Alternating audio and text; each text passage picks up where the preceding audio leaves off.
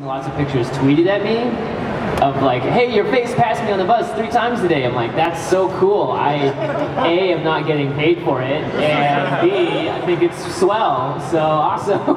I actually saw Jimmy's face on a big bus stop at a bus stop, and so I went to take a picture to send him, and annoyingly a bus went past it with his same face. Two faces right there. A little excessive. And no Yeah. Wendell bus. But no that's Wendell fine. Yes, Yeah, so you're going to take that up with Matt, right? So, okay. Ellary, have you seen uh, have you seen any of the big posters yet? Uh, I get text messages every once in a while. I, I, I think they painted one in New York. which is Yeah, like, it's And it took a couple days, so like people like know for they focus on my nose for like two days. yeah, I have a picture of it where it's just your eyes and just your nose. yeah, it's super big, It's just creepy. So in terms of season three, obviously it's it's bigger and better than anything we've ever had before. We're halfway through the season. What can you give away right now? What are you guys most excited about with the the final three episodes ever of the show? Well, so we, we finally get to do some drift racing uh, Yeah. this, this season around. And uh, so every season before this, we were doing car racing like one on one because that was kind of the most that we could afford, the most that we were comfortable with. And this season, we're like, all right, well, we have to do like a full on like race race. So we need to have more than just like one car versus another car. So we do a five car drift race. And the funny thing about this is we spent months trying to find a place to do that. It's very difficult to find a place to like where you can just drive around and do car racing. And so we were north of LA, we were in El Tejon, we were south of San Diego. We were just looking everywhere, driving around like hours at a time just trying to find a place where we could do car races. And then finally someone was like, have you tried uh, Griffith Park? Well, what, what do you mean? Like, well, there's like a bunch of roads at Griffith Park. They shot all the fast, like they shot Fast and Furious there. They've done a bunch of movies there. Like, well, how come nobody told us this? We've been trying, we've been looking for drift racing places for three years. Like, yeah, you should look. And we looked, and that's where we end up shooting. We're like, we are idiots. If there's any, if there's any indication that we have no idea what we're doing, take the fact that it took us three years to figure out that the most obvious place to do a car race, aka the largest park in LA, aka where everything is shot in LA, we were like, nah, nothing there. Let's move on. It's just horses and, and haunted hay rides. We actually have a little bit of clip of us tearing up uh, Griffith Park a little bit. You guys want to see that? Yeah clip. All right, let's roll that 2nd clip. I do. Episode 5.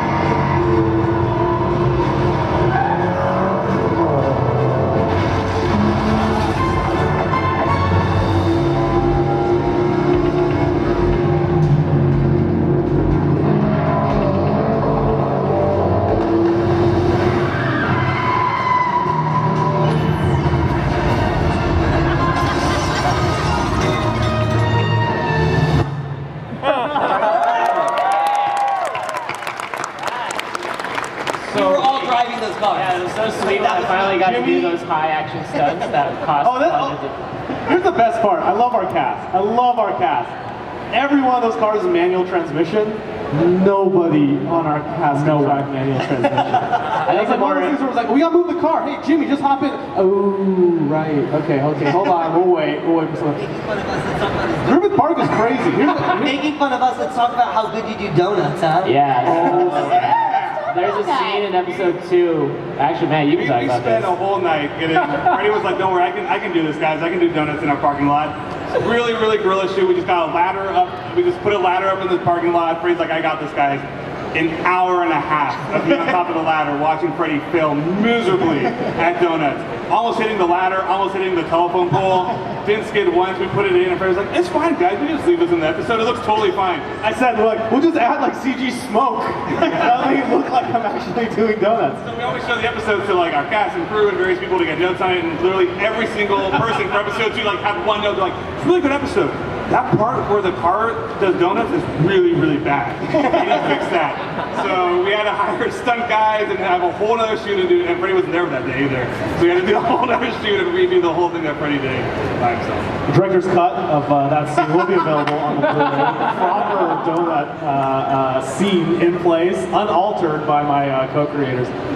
So we, when, we, when we shot this in Griffith Park, um, and Matt can talk a little bit about this, but so Griffith Park, people, who's hiked Griffith Park? Like, gone up there, yeah. Okay, a lot of people have. That's actually more, yeah, I was expecting, yeah. Um, people are hardcore. Like, so we, this is an act, these are active trails, and uh, you, I don't know if you've been in this area, but you can walk along these roads. So when it came time to shoot, there was like, okay, you're gonna need a cop, and you need like PAs, and you need people standing at all the entrances where the trails go in and out of the road to stop them, so that they don't like walk onto the road and get run over by a car doing a sick drift. and so we're sitting there, and we're like, okay, cool, and like. We're like, all right, you guys ready to shoot? Ready to shoot? Okay, cool. Let's, uh, you know, down the radio. Okay, call them and let's hold traffic. And then, okay, Roger. There's two cops on both ends of where we're shooting, the section road. And then they go, like, uh, hold on, hold on, hold on. Uh, we got some bikers coming through. We're like, what? Like the bikers just wouldn't stop? Like no, they just blew through it. And these like road bikers in the middle of our like stuff, would just be like, like shaved legs, spandex, just blowing right through it. And like when we did the, uh, we, you may have seen, we, we showed this on Conan, but we did the we did the car flip, and afterwards there's like, it looks like an accident has happened on these roads. Like a car is upside down, there's debris everywhere, and all these bikers would just be like. And like, what happened here? Whatever. I just keep going. Like, these guys are insane. They're so into this. Like, even to the point where they'd be like, they'd get, and there'd be broken glass everywhere. And the first reaction wasn't like, whoa, I should stop. Like, maybe someone's hurt here. This looks like a car accident. The first reaction was, I need to get my bike and then carry my bike because I don't want to get a tire puncture. And then they'll walk their bike past it and then get back on and keep going. Like- so bikers in Griffith Park, man, super hardcore. The, the fitness gurus are tough. Uh, Having done PA work, the fitness gurus are the people you stay away from when you need to lock down an area.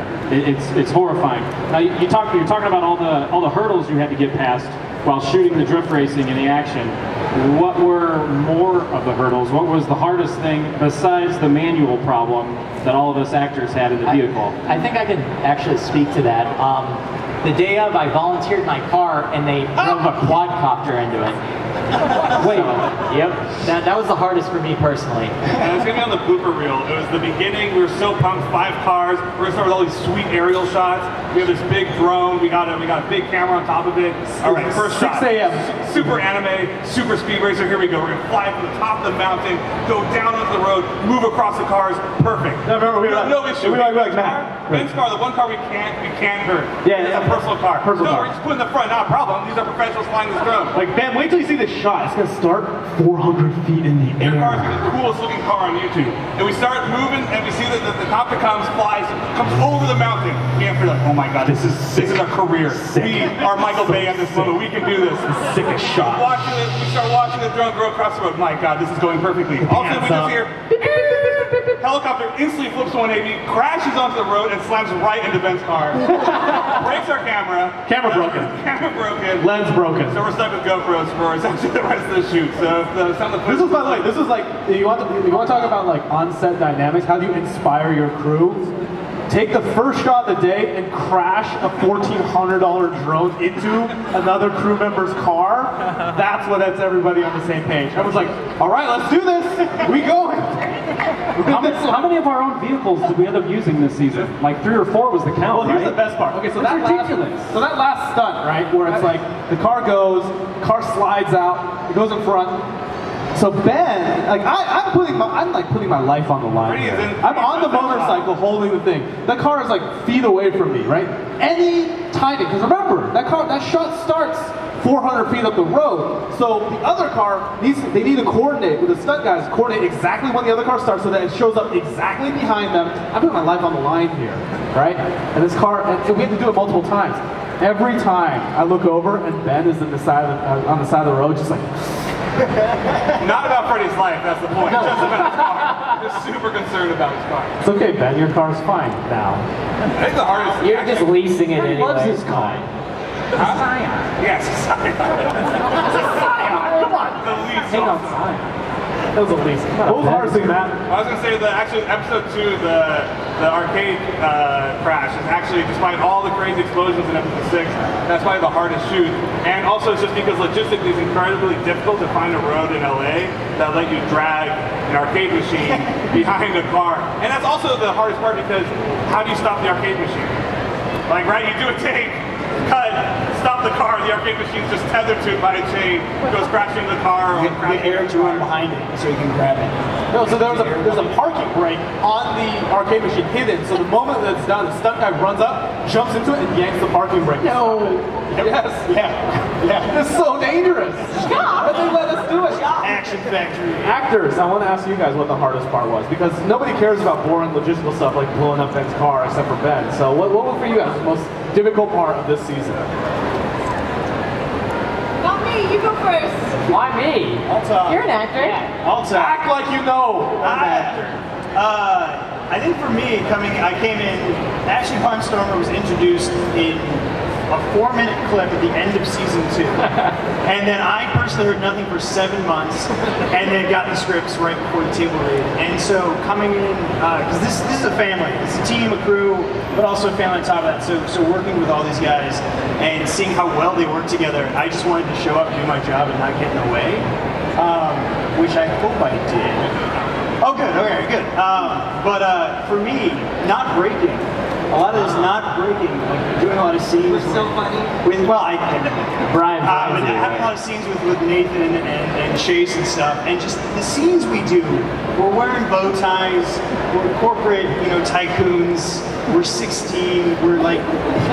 His last name is Pizza. My last name is Barnstormer. Like, what, what are we doing with our lives? So basically taking the job seriously. That's Taking the the job part. seriously, yeah, is, is to actually treat it like a job. And not just be like, I can't believe we're doing this. This is the greatest thing ever. And having the best time with the best people ever. So that was it was difficult sometimes. You had to buckle down and like, learn words and stuff. I'll, I'll give a two-part answer. I'll give a two-part answer. Um, clichely, I think one of the Is hardest that a parts. word? Hold on. Cliche. Cliche. We get a dictionary It's, check it's 40, it's 40 points in Scrabble.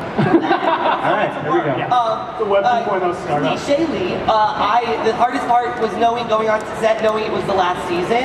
I I love these people. It's so fun, and we have so much fun on set. And knowing that was really hard. But probably working with Cheeto the cat was so friggin' hard, and I got cut up so much, um, and didn't get a bump in the ratings. But If you if you watch the clip where you grab him, it's like I found the cat. I like- couldn't hold him for a They, second. they cut it like the frame before it like all hell breaks loose. he was just like going, Uh, but great, great cat actress. Great. Cat. If you need a cat actress, call Cheeto. She's actor. Maybe, Actor. maybe that's where the Oh, that's what it was. I always thought it was a girl. That's why. Found it. Check. check. Sorry, Cheeto, wherever you are. He's hiding. um, uh, uh, I'd say the hardest part for me was probably like. Well, yeah, I mean, episode four has a lot of pretty intense scenes that took me a lot of. I was very sort of racked with nerves going up to it, uh, but you guys will see that next week, unless you've already seen it. Uh, so that was very hard. Also, I'd say going in the first day, like the first thing after not being in VGHS, was like, all right, Jimmy, you're gonna get in a fight with Josh. He's gonna break your nose. it's like, all right, let's do it. And it was like one of the first scenes that we shot. He's like, all right, Jimmy, you gotta get there. And I'm like, okay, I haven't been Ted for a while. So I think getting back into it. But once the engine started going again, it, it, it was all gravy.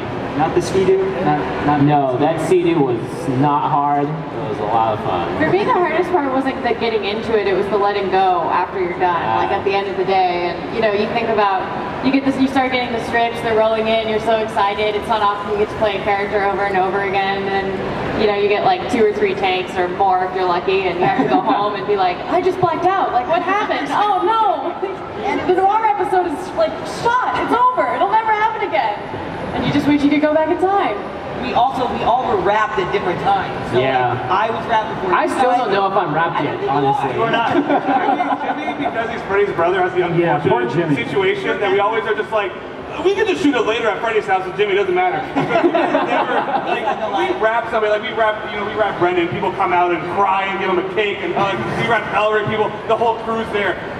Jimmy, I think got wrapped like in his kitchen with me and Freddie as we were complaining about his magic cards on the counter. I'm like, whatever, Jimmy, you're done. That's it. You're never playing this character again. Like, Jimmy just never gets a real rap. That's the problem with Griffith's brother. I think we, we officially wrapped me outside of a burger restaurant. And then I Can we drove get, can we get an official season three wrap for Jimmy Walker?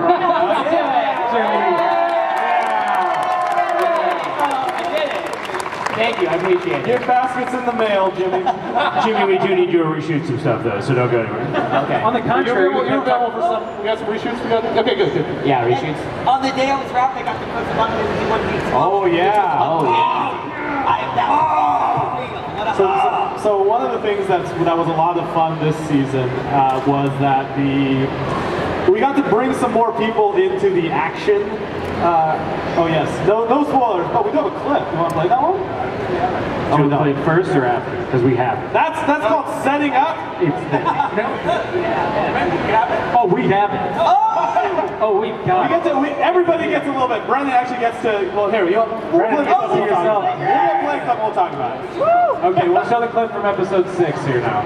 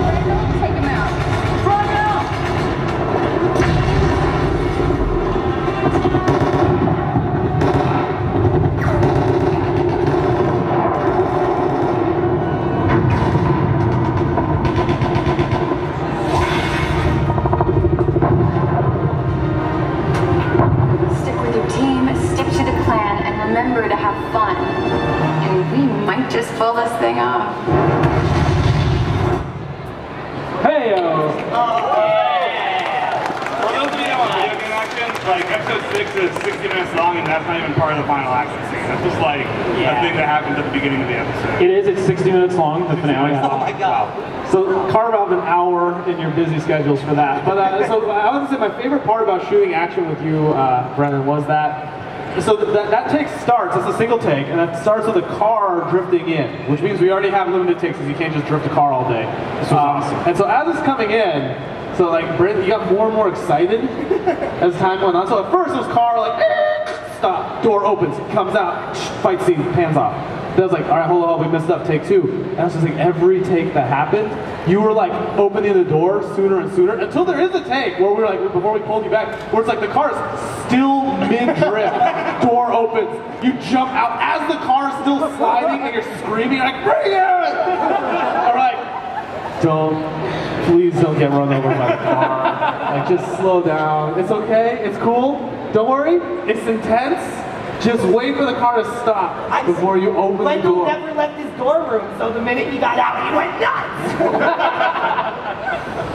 That take took that took that was like half of the day, wasn't it? That Yeah, one that's shot right there. We, we did a lot of rehearsal, though, so it wasn't us failing. It was like we had to rehearse to make sure the four shots we got. Well, poor Freddie, you had a ridiculous rig on that day, right? Well, so I have a, um, and unfortunately, I don't- you know, I have a picture Yeah, of talk a little bit how you shot that. So we have uh, this year we use a camera stabilization thing called the Movi, and the Movi is like a um, it essentially it's like it's, it's the same gimbal that they use in like drone shots, where it like stabilizes uh, the camera, but it's handheld. And the funny thing about that is, is it's, it's perfectly smooth, right? So you can like jump around and it'll, it'll stay like smooth and level. And so that's how we shot that. It wasn't a mistake, it was a Movi. And like the best part about it is that it's so smooth is that you can fall while holding it, and you can just eat it, and you won't ever tell from the footage. And super, oh, we don't have that clip, but literally, I was, I, there was one take where as I'm running, and you know what? If we can, is, hold on, is there? Can we just play this? And can I shout pause at a certain point? I need to point out something. Can we play that No. clip again and just You're getting a pause? no. You're getting a no. No, hard no. That was a hard no. It's a tape. We have to rewind it actually. Um, hold on, a There's a single. There's a single like concrete block, like about this big. Just um, in the in the ground. And like I was running, we're like, oh, look for that. I hope I don't trip over that. We'll just keep an eye on, that, uh, make sure I trip that. Guess who trips over it? Guess who trips over it super hard? And, it's like, and also, it's surrounded by completely flat concrete. There's just like a little tiny like thing. And so as I'm going, I, I, I trip it over and I fall. I'm holding the camera up. But then I'm like, oh man, that's gonna be so hilarious when we see the footage. And we see the footage because this stabilization device is so good. So I fall, and it's just like super smooth. it just looks like you just like screwed up the shot. It's like, oh, here's the shot. It's like, oh, it's over here. I wasn't even, I wasn't even like, it was so disappointing because I wanted like a shot.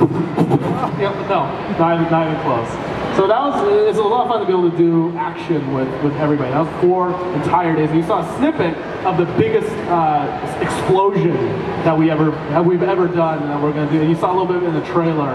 But um, the best part about that was I, I, I, I talked to someone and they were like, oh cool, you guys are doing a, a show, like, uh, and we're talking about blowing stuff up. I'm like, oh, we did an explosion last show. Let me show you. And I had the clip on my phone.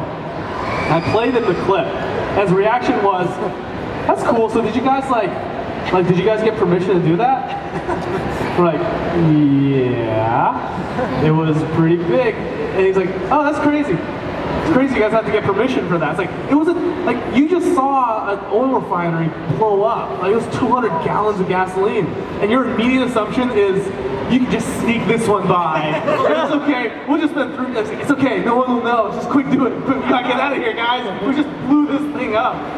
And the best part about it is, is, is, is big, like, uh, oil refinery in Santa Fe Springs. And we're like, well, how great would it be if we just sent someone on the street, like with their Snapchat on their phone, and they just walk in that street like, hey guys, what's up? Just chilling out here. And then like, as that was happening, and then have it just like, whoa, whoa, what is that? And it explodes behind them, and then just, and just and act like this was just like, yeah, this was just me walking on the street with my Snapchat. And we didn't do that. We did some other thing that we will put a clip out when, when episode six comes out. That's like the funniest thing ever that we did. But after it blew up, after it blew up, I got on Twitter. Like I was like, please tell me someone in this area tweeted about this explosion that we just did. And there was one tweet. There was one tweet from a person and they said, Hey, did anyone else just hear that in Santa Fe Springs? It sounded like a giant explosion. And then I was like, okay, this I got this kid. The next tweet was just like, anyway, I went over, I was like, hey, was on TV tonight? I was like, no, just, it just, they heard it, and I was like, yeah, whatever.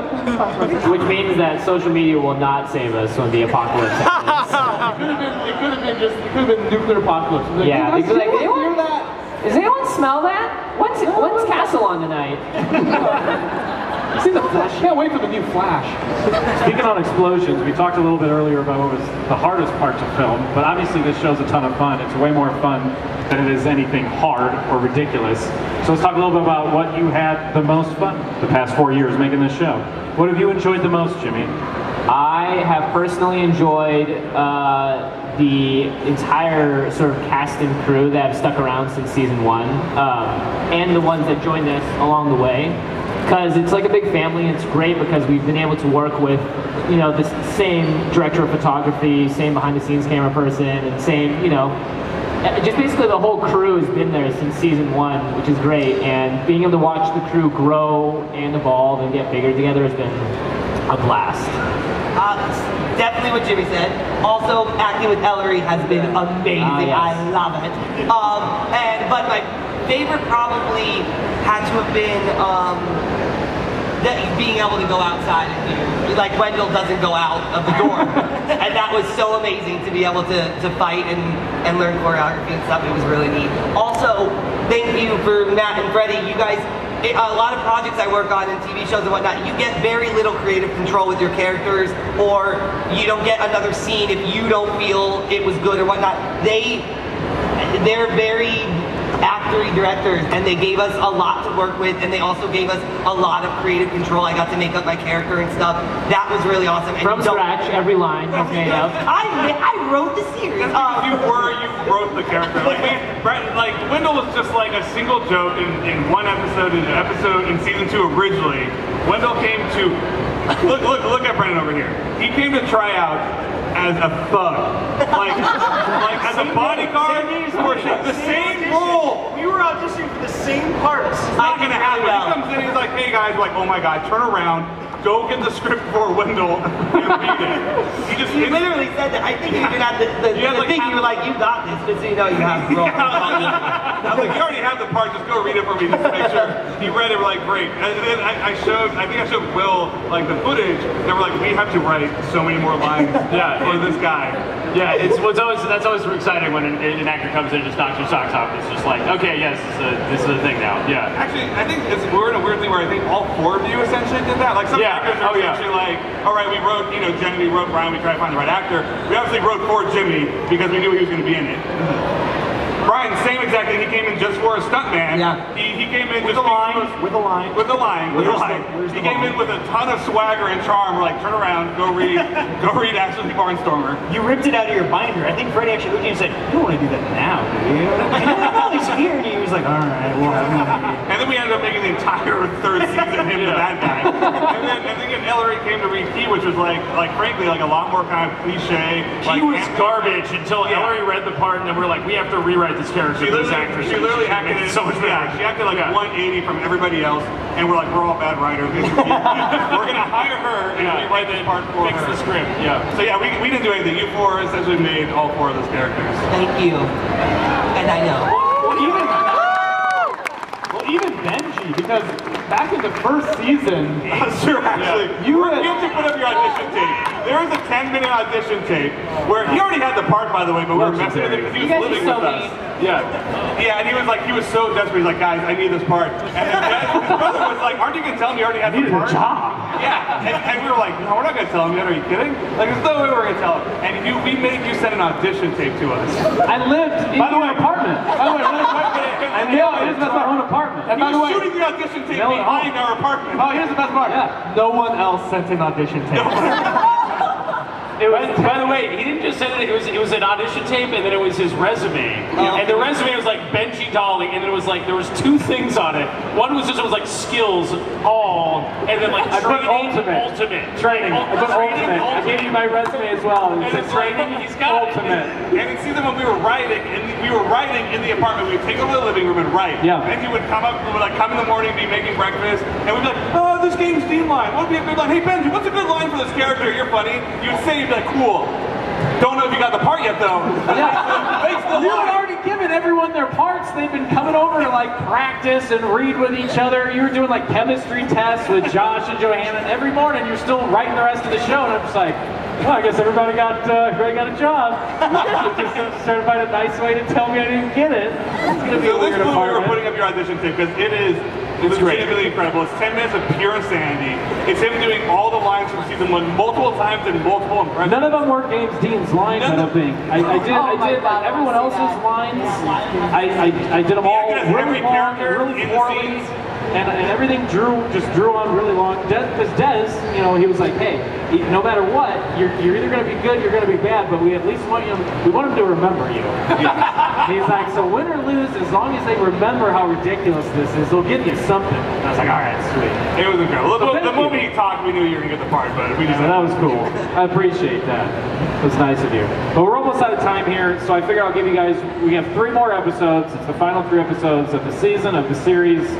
So I'll give you a three words, three word synopsis. Give the fans a three word synopsis for what's in store. Sorry to put you on the spot.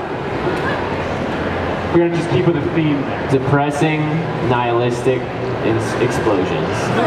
Ooh, okay. It's three words in a row. Life.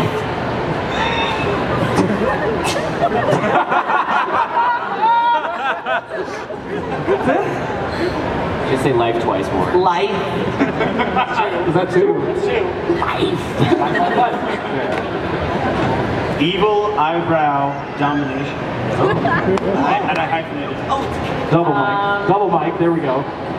Pixels, screens, and video. Going all out. Sorry, no more.